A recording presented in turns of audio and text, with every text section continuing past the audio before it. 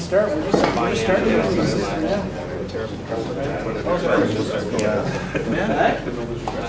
Chris likes it.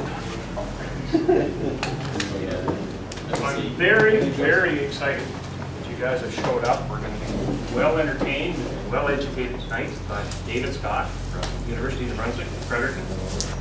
Um, Comes highly recommended, and I think we're going to really enjoy ourselves. So I want you to let him know that we appreciate him driving from Fredericton. Give him a big round of applause, David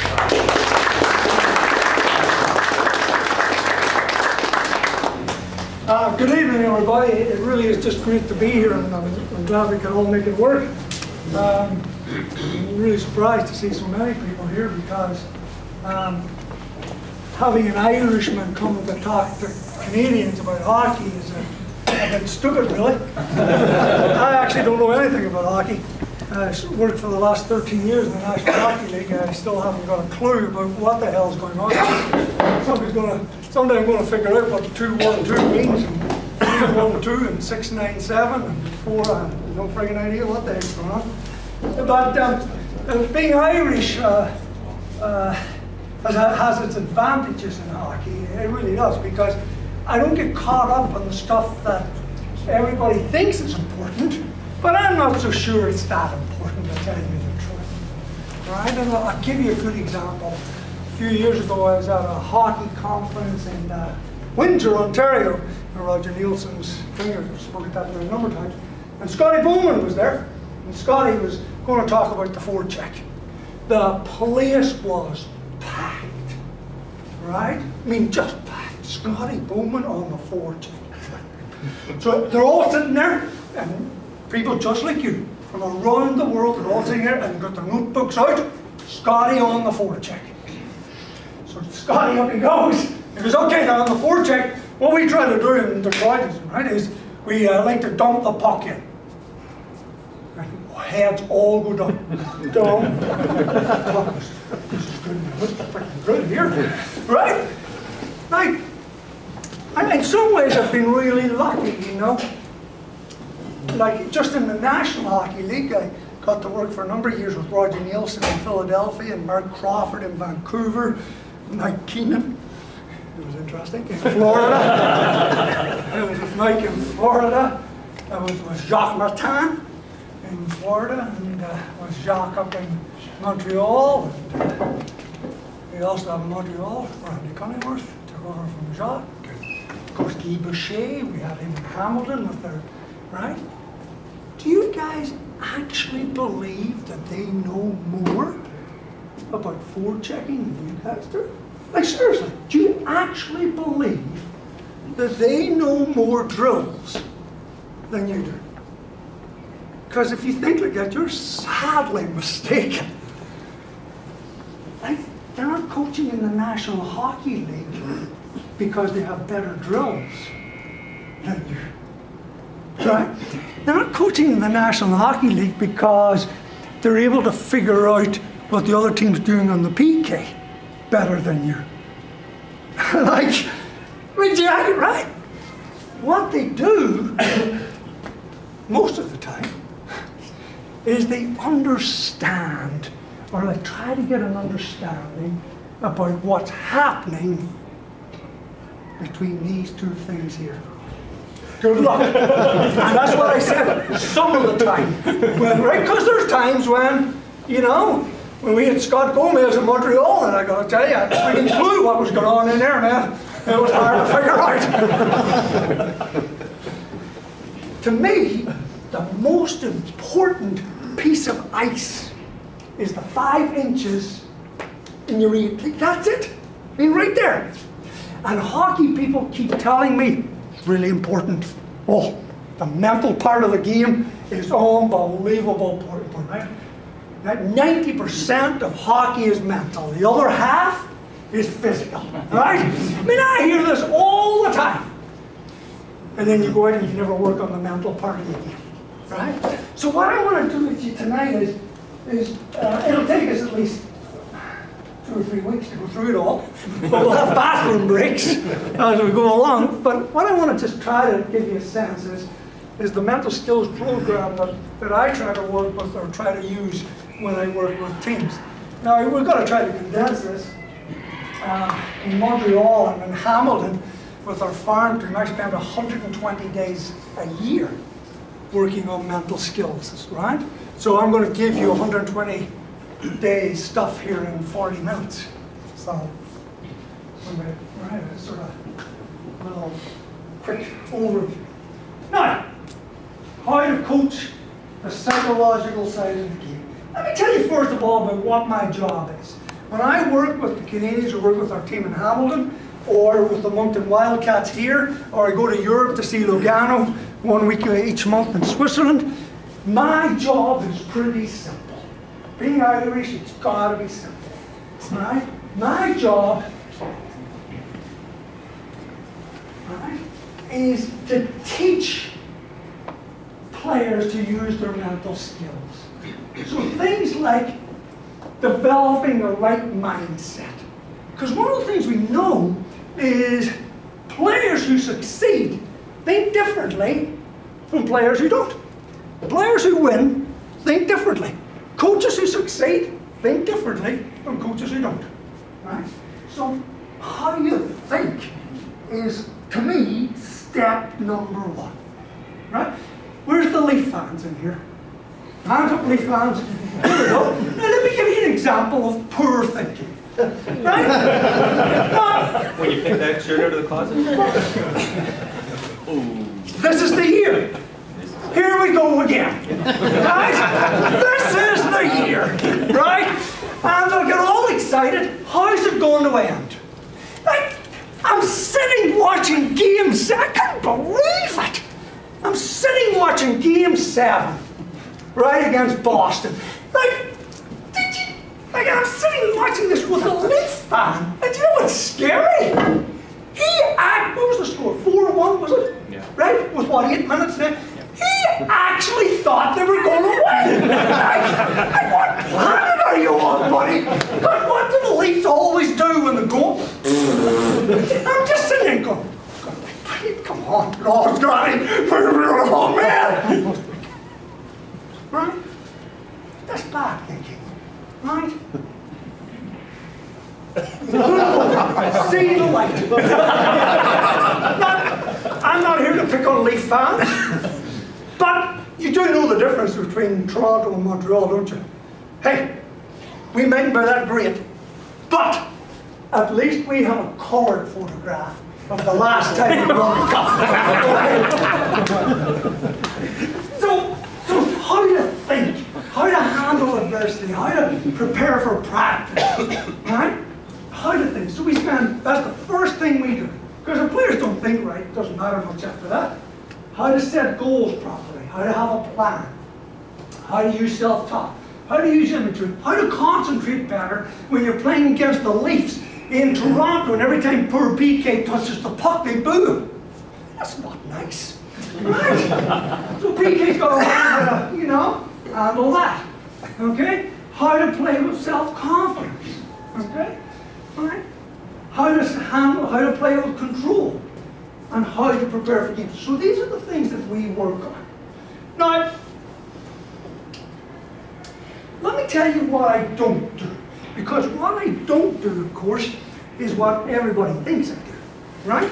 Let me tell you what I don't do.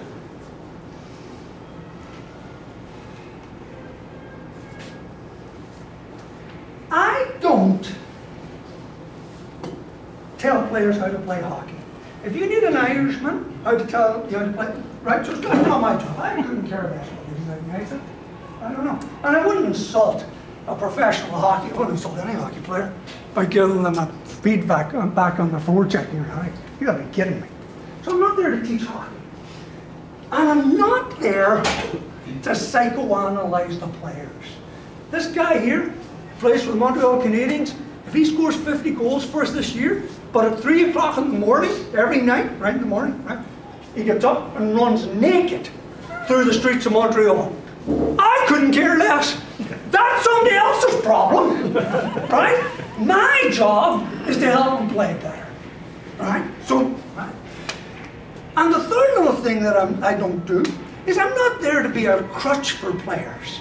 In other words, the coach called you a stupid what? No.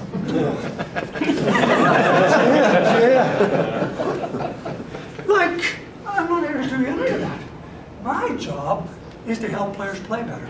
So for me, performance is the absolute key.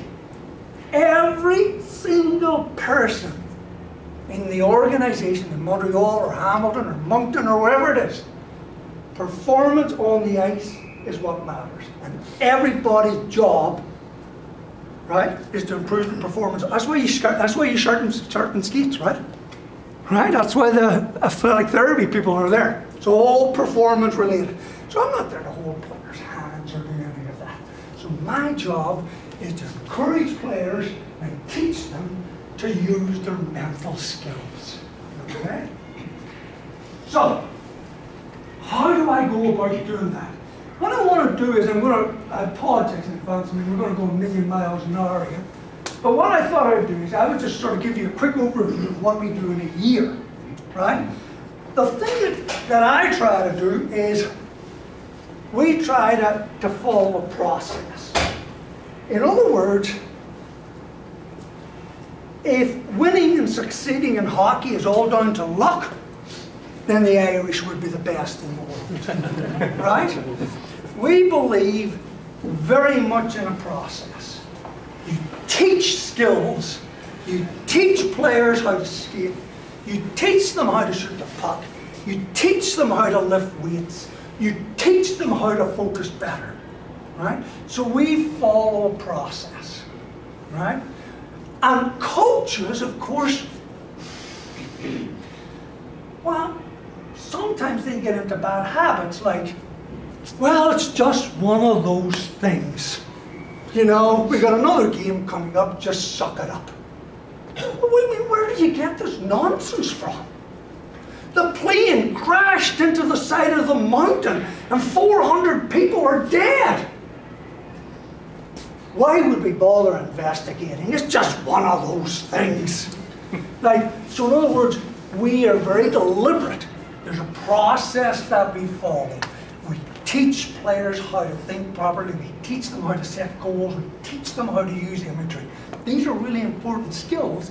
Some players have them. Some players don't. Some players have heard about them and so on. So really important to teach these things. Now, how do we go about doing that?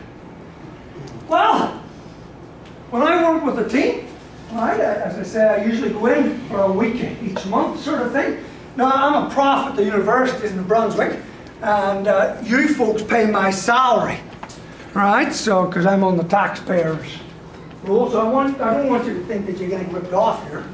But I do spend 10 days a month away from the office in Hamilton and Montreal. I just come back from Hamilton at midnight last night. And then I spend a week in Switzerland and a week in Moncton. Right, so, and then I'm here tonight. So that's my 30 days, 29, 30 days for the month taken care of right there. We usually have a thing. So, for example, when I work with, uh, with Hamilton, which is we're working on goal setting this month. So that's the thing. We have short 10 or 15 minute meetings with the team to go over goal setting right before practice. this is what we're working on, this is how you set goals, blah, blah, blah. Sometimes we meet in small groups, so sometimes we'll meet just with a PK, or sometimes we'll meet that with a, uh, a line or just the captains or whatever. We have mandatory one-on-one meetings, mandatory meetings. So Brian Gionta comes and meets with me, one-on-one. Now what the hell is Brian Gionta going to talk to me about? Right, he's captain of Montreal Canadiens, won Pilot Stanley Cups. Does Brian Gionta have to go to practice? Yes, he does. Brian goes, gosh, you know, I just don't feel like lifting weights today. Oh, that's okay, Brian. Don't you bother lifting a weight. You know, it's up to you. If you feel like you need to lift a weight, you go ahead. But if you don't think it can help you, don't you bother lifting a weight. No, no, no. Those buggers are in there lifting weights, right? So where did we ever come to this mental skills nonsense of, we got the shrink here today. If you think he can help you, you go and see him. But if you don't, that's okay. He's there anyway, just in case. Where did this nonsense come from? Brian, you need to concentrate better. You need to work on your pre-game prep. You got to do right. So we have mandatory meetings. I'm not there to psychoanalyze them. We're there to work on skills. And you know something? And this has happened in Montreal. Our players didn't concentrate enough. They weren't focused. They, weren't, they didn't set proper goals. Okay? Right? Cost Jacques Martin his job. Cost Randy Cunneyworth his job. Cost Perry Pearn his job. Um, cost uh, our GM, whatever he's in Chicago now. He cost him his job. It's okay, Brian. You just whatever you like. It's okay. I don't care if my kids. I'm not Brian. I don't. I don't care. You know, like if you know my kids starve to death. You know, if you think you got to work on this mental skill, you can. But if you don't, it's okay. There's just way too much writing on this, right? So we, we have mandatory meetings. Everybody comes. Some last shorter than others, right? I mean, Carey Price is a classic example, all right? I mean, Carey will come in and if he's playing well, I'll say, Carey, how's it going? And go, Scotty, it's going great. Don't F me up. That's it. Meeting's done. We're done. See you next time. That's fine. That's fine. He had the opportunity to speak, right? And boom, becomes some, and some days we talk and some days we don't, right? But it's not like go to see the shrink if you need it, and you're the only guy who comes. right? So of course you know I would come, right? right? So we've mandatory meetings, very process oriented. Then I try to keep in touch with our players through telephone or Skype. So that's how I go about my job. Now, let's start with what we do in September. Now, here's some of the things that we don't do all of these things. But here, by the way, I can't possibly imagine that anything, any of this stuff might be any good to you. But if you'd like a copy of it, just send me an email, Scotty at unb.ca, and that'll, that'll get me. Now, here are some of the things that we think about in September. Really, for me, the main thing is just developing a winning mindset. And I, by the way, I really like talking about winning, even with kids. Oh, no, no, winning's not, and you can't talk about winning. Oh, yeah, you can. So fun. Yeah, like it's way more funner when you win. I'm not talking about getting a victory. I'm talking about winning. Those are two different things. Anybody can get a victory. Just go out, slash somebody, break somebody else's wrist on the other team, right? Spear them, okay? And then you'll get the victory. You're not a winner. No, no. You got the victory, but you're not a winner. Let me tell you what winning is. Winning is when you're playing, say, in a final, right? And you win 2-1. And to win 2-1, the other team was unbelievably well coached. Great coaching staff, great parents, unbelievably good kids on that other team. Really skillful, tactically great, don't take cheap shots, right? Just outstanding young men and women on that team, right? And your team just finished a little bit in front of them. Holy moly. It's the greatest feeling in the world. Because to beat that team, and they do everything right. They're top notch, top quality, and you and your kids finished a little bit in front of them. What's that say about your kids and your program? Wow, you must be teaching those kids a lot of really good things. And, you know, let me tell you where I learned that. Last year in Switzerland during the lockout, now, I've been around hockey players a lot, I've seen a lot of them, and it's not often I get completely blown away. It's not often, right? In fact, this might have been the first time I said, there's a hockey player who could marry my daughter. Well, one's only 13 and the other's only seven. Right? Patrice, Bergeron was our import player in Lugano. In he comes, right? Now he's playing in the Swiss Elite League, right? In he comes, Hank carries his own bag in, hangs up his, everything in his stall is immaculate. Goes to the training staff, right, and goes, is there anything that you like me to do in particular? Like where, where do you want me to put my skates if I need them sharpened? Where's my sticks? How do I ask for more tape? How do you do that? He then goes and asks the fitness and conditioning guy, my Swedish guy, is it okay if I go down to the weight room and work out? you can do it? No. Boom. And this guy wins right? And he carries himself in a certain way. He works hard. He's great on his video, right? Like, you don't hear Patrice, Bergeron on sex scandal. Like, seriously, in the scene, where, like, you're looking at somebody who's going, whoever coached that person, and whatever program he's come out, and he played in Bathurst, right? What an amazing job. Oh, those are the coaches who should be in the Hockey Hall of Fame, right? I mean, what a wonderful man they've produced here, right? So to me, winning is doing it the right way. is all about teaching kids really good life habits. So, thinking the right way. Holy smokes, I've got 15 minutes left and it's September and I'm done. now, what makes, well, first of all, let's talk about what makes a, a, a winner. Now, I know you work with young, uh, you know, with, with, you know, with young athletes, but I think there's a couple of really important little life lessons that we can learn about succeeding, right? Successful programs deliver, right?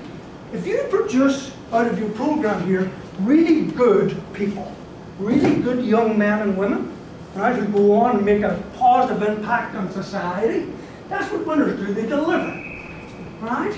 They deliver. And you cannot produce a first-class car on a second-class assembly line. In other words, if you do nasty things when you coach, if you use bad language on the bench, if you rip into the ref, right? If you're telling them, you know, when the other guy's not looking, just do it, right? When you do that, don't be surprised that your players turn out like that. Right? I mean, I that's... So, teach good habits, right? Teach kids to be respectful. Teach them to work hard, right? The hard work comes before success. And unfortunately, at the university, for example, I mean, I see lots of 18 and 19 kids. I had 200 of them in my class this morning, right? And if I gave them an A plus at the start of the class, they wouldn't come. Scotty, can I have an A? Yeah. A plus. Right? But what about working and learning and developing ah, on? I just want the result. So really trying to encourage this notion. This what makes hockey just the best game. Right? You've got to work hard. You've got to be prepared. Right? And things don't come easy. So lots of really good life lessons to be learned there. Now, winners don't take shortcuts. And they pay attention to little things. Right? Kids pay attention to little things. Teach them, right, as Patrice Bergeron taught us all, little things are really, really important. How you set up your equipment, how you carry yourself, how you talk to other people on your team, right? So little things are important. Now let me give you an example. I don't know if you can all see this, yeah? What I want you to do here is I want you to read this sentence to yourself. I want you just, it's not a trick or anything, I want you just to count the number of times the letter F appears in that sentence. Just count the F's to yourself. Very simple. Finished files are the result of many years of scientific study combined with the experience of many years. Already, that's pretty simple. Now, how many people saw three F's? Anybody see four? Six. Six. All right? Anybody else see six? six.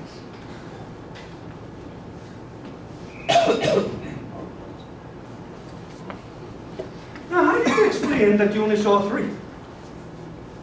Right? And when I look at it and I see this most days, I only see three. Right? but, but I'm Irish. Well, what's your excuse? You don't know what an F looks like? right? I mean, they're all there. But you just took for granted, like, ah, oh, it's simple, right? So little things are really, really important. Right? Mental skills are important. We say they're important, and then we don't work on them. Right? So little things are really, really important. All right, let's go down to business. A winning mindset. What are some of the things? Here are some of the things that we try to teach um, our players. Five golden little rules. Remember in hockey, you get what you deserve. Unfortunately, the Leafs have got what they deserve. they have. Right? In other words, they give the cup out to the team who puts the puck in the net most often at one end and keeps it out of the net at the other end. I mean, you get what you deserve. Maybe in one or two games you get a bad punch, right? But over the course of the season, you get what you deserve. So here are five little golden rules to teach your kids, right? Number one little rule, no bad days.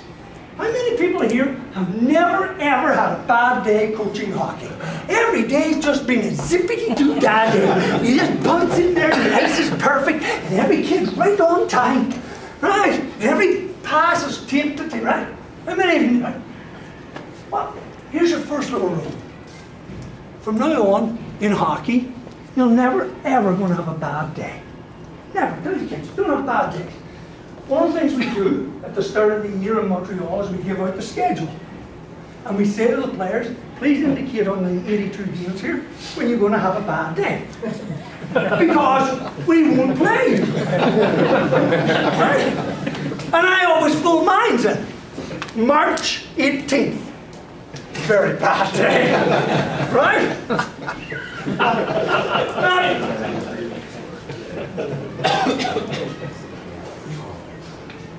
So one things, for example, we try to say, we tell our players is, I give them a little example. I got a friend of mine, so let me tell you what he does. He works at a hospital down in Pittsburgh, or not. Pittsburgh in the US. And, there might be someone in here who does this job as well, I don't know. But he does heart transplants for a living. That's what he does. Every day. Just like getting an oil change. Brand new hearts into people. Now, imagine you're doing that job. Just imagine. So there you are, you got all the fancy little gear on and the little goggles, right? Um, 21 other nurses or just or doctors are all just standing watching you. You've just parked your Porsche Ferrari out in the parking lot, and they're playing the music from ER in the back room, and they're wheeling the patient. Right? And I tell the kids this, right? You wheel in the patient and you pick up the bread knife and you go, right? Stick a hand in, right? Go big or go home. They start feeling around. And I was speaking to a Canadian medical thing a little while ago and I said to those, and I said to them, I said, like, you know, I am so envious of doctors and surgeons because I've never met, and there may be some of them here, but I'm envious of you. I've never met a group of people who get paid so much for doing so little. like, seriously! Like, you stick, I mean, it's not like you're going to be stuck in there all day, is it? Like, oh my gosh, maybe I just can't find the heart anyway. There's four things! Four! right? You stick a hand and you wheel around. It's not like you're going to be in there forever. Right? Right? Just pull it out.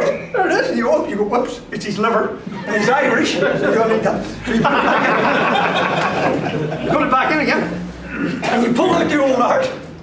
Boom, garbage can. You pick up the nice new heart out of the little ice bucket, you walk across, whoops, splat, it's on the floor. Can you imagine right now, little red heart just pumping on the floor there? Pump, pump. What's the rule here in Riverview? What's the rule down here when kids drop candy on the floor? Three second rule. In Ireland, we don't have that, right? We got the three spit rule, right? That piece of chewing gum could be stuck on the pavement for six months.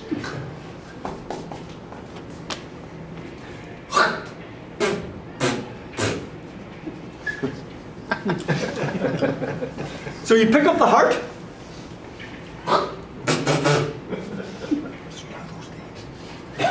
and you plop it. No, no, it doesn't fit, right? It doesn't fit because you used it, abused it, dropped and spat it. So how do you get a, a big peg into a little hole? Bang. So you get your hammer out, bang, bang, bang. Now it's in. You start stitching up. You look in your watch to see how long it's taking you because it's the United States and you're going to bill them. Right? And guess what's full on it? The watch is in there as well. Needless to say, things have not gone well. Right? This person has snuffed it. They're going to the big hockey rink in the sky. But your job's not done yet, right? Because you've got to go out the door and the person's family are all waiting there for you. Right? And they say, Doctor, how did it go? Well, what do you do? Tell the truth, don't you?